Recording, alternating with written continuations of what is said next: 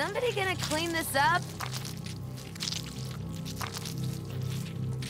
Cassie Cage wins.